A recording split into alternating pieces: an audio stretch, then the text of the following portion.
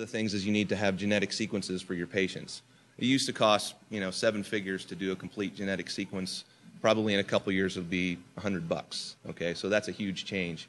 There are uh, providers right now, Vanderbilt's one of them, uh, Intermountain Health in Salt Lake City is another, that are collecting tissue samples of every one of their patients and saving them because they know that they can genetically sequence that entire genome whenever they need to uh, in a couple of years for a couple hundred dollars. And that will have a huge impact on their ability to design the right pathway for that patient. Um, the other thing about that is uh, it's too much information for a clinician to be able to process, right? So you think about it the way a typical doc uh, takes care of patients and, and all the places they get information and it sort of all goes through their head and to the patient that's not going to be sustainable. You're going to have to have some kind of analytic machine that churns away on this person's profile, their genetic profile, how they responded, their age, their disease condition, all those things, and then say, hey, based on these criteria, this is the best way to take care of a patient.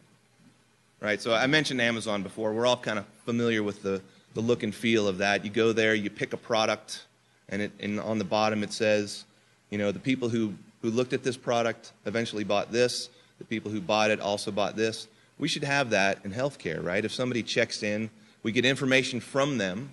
There's some engine that turns in the background and says, okay, a person who's a 46 year old male with this condition, with this genetic profile, responds best to this treatment pathway, right? That, that's simple. It, it should happen. Uh, the creation of that evidence is called evidence based medicine. That's something that is driving a lot of the change. And evidence based medicine is the the result of comparative effectiveness studies. So you look at comparative effectiveness studies to determine what's the right pathway. You put it back at the bedside or at the point of care through uh, decision support tools and evidence-based medicine. So all this new science requires a tremendous amount of data analytics and data capability, and, and there's obviously opportunities there for huge new players and, and components. All right, we mentioned that the, the cost of, of sequencing has gone down. Uh, you can see the numbers on there um, from 300 million down to $100. That's, that's uh, better than cell phones, right? um, one of the interesting points to this is, as that first bullet on the left, we're starting to see a lot of blurring of, you, you probably heard the term nutraceuticals or, or things like that. It, it, the diff, what, what is a, a pharmaceutical and what is a, a product for beauty or, or personal care, that kind, of, that kind of line is changing. Uh, and as a result of that, there's going to be more consumer facing marketing as a result of this. And, and obviously, that's a, that's a big issue with privacy uh, advocates because you don't necessarily want people's profiles to be used to, to generate targeted marketing, um, but it, it's going to happen.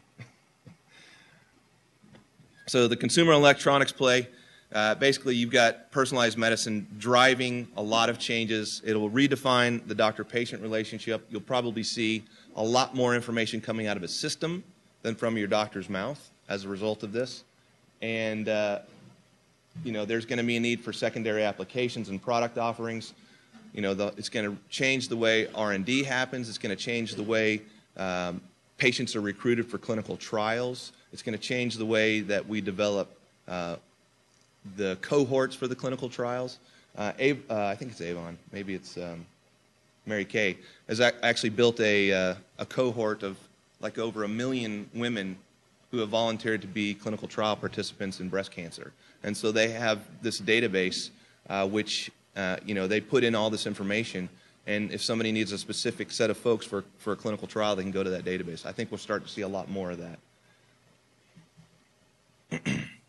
so how can your company position itself with this market? So we got on the left, you know, our, our current state. We got volume-based payments. Uh, we're going to move to performance and value-based patients payments. So value-based purchasing is the term that Medicare is using for this. That means we're going to pay you if you perform well. If we're not, we're going to we're going to take some of that reimbursement money away. Uh, as I mentioned, you know, 80% happens outside of hospitals, but most people think of care in hospitals. We're gonna, definitely going to see more retail type things and more things in the home. Definitely more in the home. Uh, and there's, you know, huge opportunity for putting monitoring devices uh, and alerting type things within the home. And then the one size fits all, obviously, I I think we'll move away from sort of taking a whole a look at an entire disease and, and attacking it, but we're going to look at certain specific molecular uh, changes and attacking those with specific uh, therapeutic treatments. Uh, Bruce is uh, on the board of Continua, and I don't know as much about Continua as he does, but I, I, do know what their mission here is, and you can see they've got, you know, some big, big players in this. Uh, Intel uh, has driven a lot of this, and, and IBM and some others. Basically, what they're trying to do is create a standard architecture for interconnectivity of devices outside traditional healthcare settings. So think about uh, you know, if your insurance company gets on board with this and says, you know, if you make specific lifestyle choices, we'll reduce your payments. So if you get on the treadmill and run, you know, 10 miles a week, and we've got a little device that's hooked on there that reports back to your your medical home that you've done that, well, we can monitor that you've made that, that lifestyle choice and we'll reduce your payment. Uh, when I first heard of that, I thought, hey, you know, great revenue opportunity for college students. Hey, can you come over and run on my treadmill for half an hour? Uh, but maybe there's a more sophisticated way to make sure it's the right patient. so as we see, you know, they're really trying to, to create a, a communication layer and an integration layer from devices. Uh, so they'll, they'll create standards with all those companies, you know, the cell phone companies and the, and the processor companies and, and uh, a lot of the folks that create uh, the, the end user product. And then it'll be able to connect through Continua built uh, standards, and they'll have a certification program for that. I'm not sure exactly how far this uh, proof of concept has gone, uh, but they're doing some things with uh, obesity and diabetes. You guys probably know this, but the chronic diseases are really the largest portion of healthcare costs. Um, and so anything you can do to sort of reduce the cost of chronic diseases, which have a huge lifestyle uh, impact, you know, what, what, you, what choices you make in your lifestyles have a huge impact on your, on your patient outcomes and how much money is spent on your healthcare. So they're trying to drive down that cost by doing some home monitoring of, of those choices that you make and being able to intercede when, you know, a patient's starting to decline. So that's, that's the, the detail I had here uh, for today. Basically, you know, we're seeing a huge amount of change as a result of healthcare IT. It's, it's kind of 10 or 15 years um, overdue. And, and, and I think a lot of it's being driven by this payment reform. So it's always been a good idea to take better care of patients, but only till recently were the financial incentives aligned for that, honestly. You know, if you, if you did a bad job on somebody and they stayed two weeks in the hospital versus three days, it was more revenue for you. Doesn't make sense, right?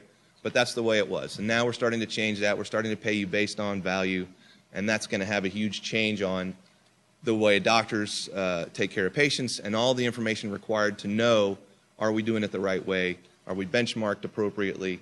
Uh, and can we identify issues before the patient starts to go downhill, which requires you know all kinds of monitoring and analytics and comparative effectiveness studies and things like that. So I'm, I feel free to ask questions, and I'll, I'll try to answer uh, as best I can. Yes. Susan? If that's up to you. Yes, absolutely. Okay. Uh, it will be available, um, uh, on the, uh, health, website. You know, the website, if you know, and we'll provide the PDF.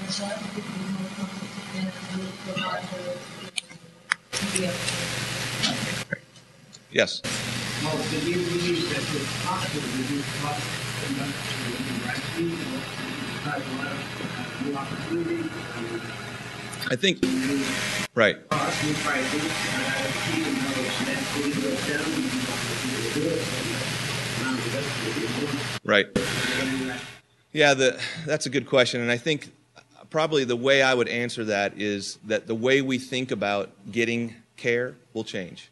All right. So our, our method of you know, being sick or having a condition and going to see our doctor, I think there'll be less and less of that in the future. And there'll be other opportunities for getting care, you know, via the internet, via